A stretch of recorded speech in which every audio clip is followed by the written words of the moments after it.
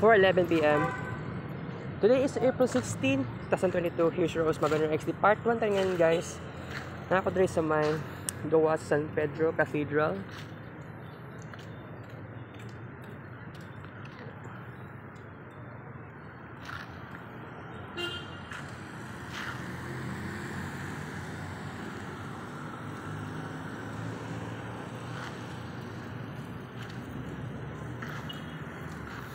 So ang event unya pang alas 6 sa gabi. eh.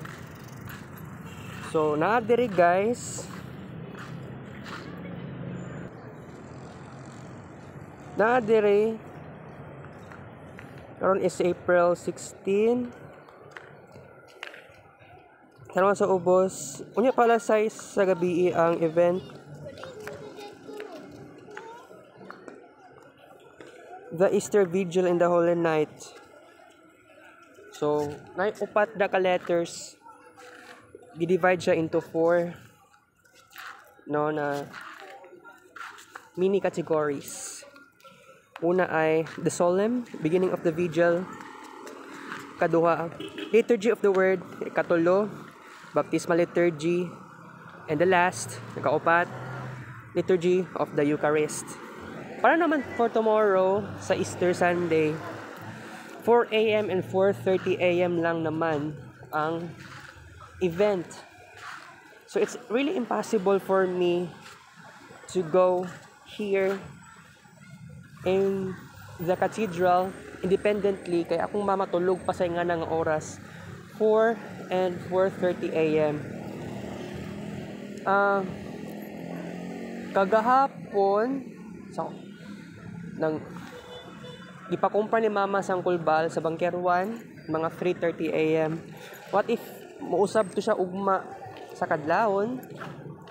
So if ever na makamata ko sa iyo ugma sa kadlawon mga 3:30 AM or shall we say 4 AM uh, I will I will be I will quickly na mag-ilis yung sanina maka-apas lang aning duha ka events. Procession of Easter Sunday of the Lord's Resurrection. Ika na importante kayo.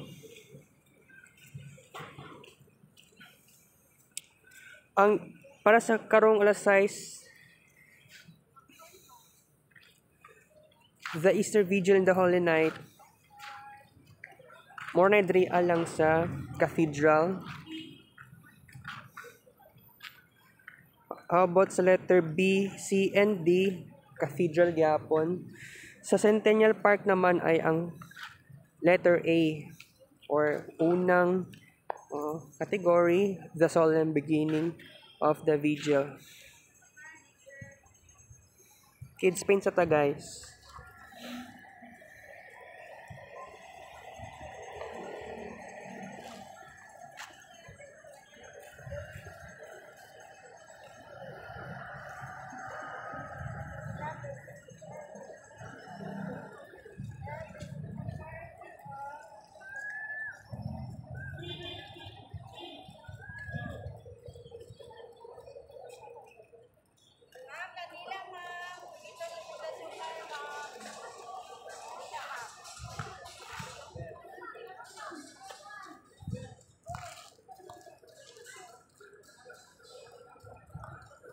Kulang lang sa 10 ka buok.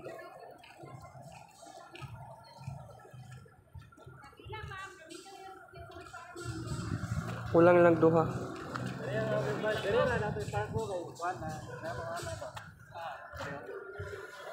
One thousand one ang total number of kids paint pictures.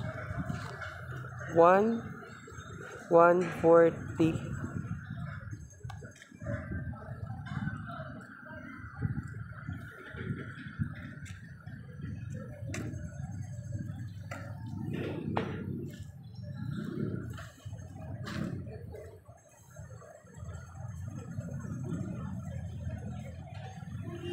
Patunga ko sa dalan karon sa gawas sa may cathedral.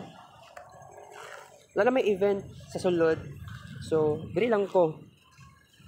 Magstay lang muna para sa vlog.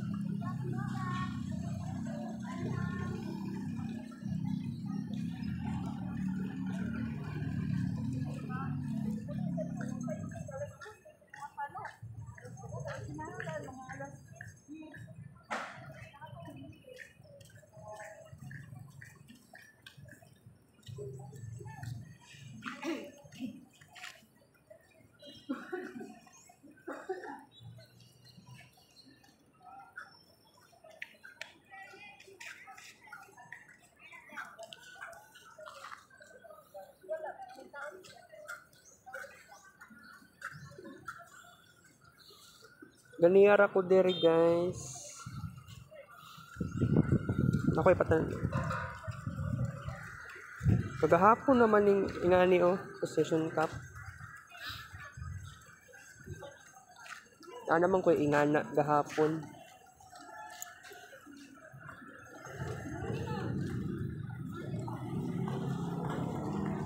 Duol ko ha. Basig mag-zoom ay mag-zoom.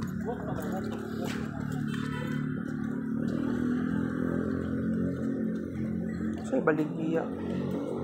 Murag cup.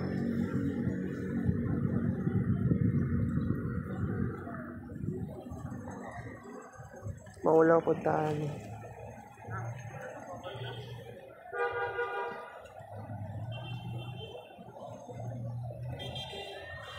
Same ra siya kagahapon. Same ra siya kagahapon na events. Na ay possession cup.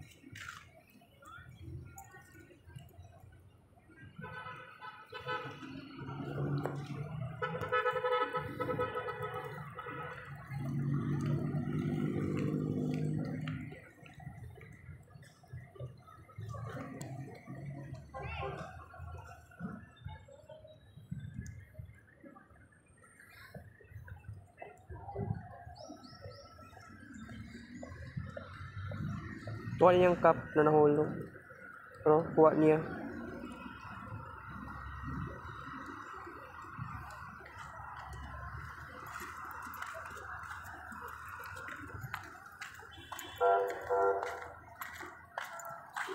Dili naman day ta, dili naman day mali ang ako ang gibuhat kagahapon. So, ni arrive ko dire pasado alas 3 sa hapon. Kaya kung ni-arrive ko dire, wala pa alas 3 sa hapon, I think human na ilang misa. And I, I can feel the coincidence kagahapon na wala wala gud ko nagtanaw sa Facebook page sa San Pedro San Pedro Cathedral sa Davao City. Okay.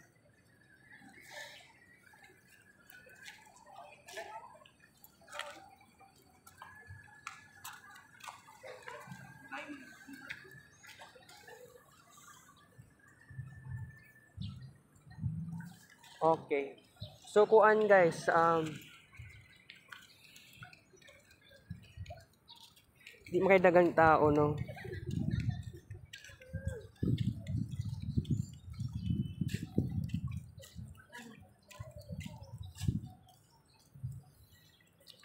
Possessional cup na anamang ko kagahapon na na.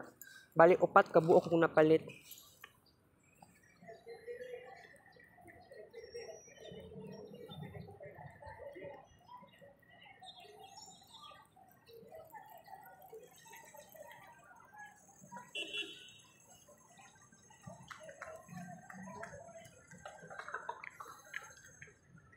Napatay la napatay last part guys sa part 2 after ani nakoy napakoy 10 pesos dire kay 20 pesos akong bayad sa driver.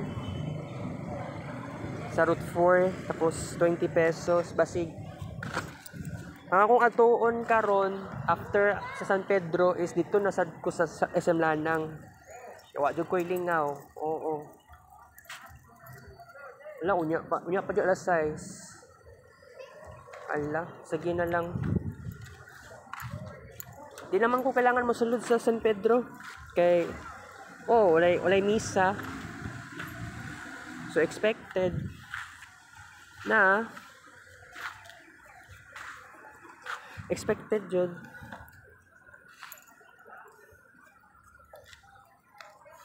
Na tinuod tong nakita na ako sa event. Dito, katong picture guys, kaganiha, nag-discuss na ako about sa event unya o ugma. Ibi, ah, nakita na ako sa Facebook page sa San Pedro Cathedral. So, guys, na part 2. Thank you for watching, guys. Love you all.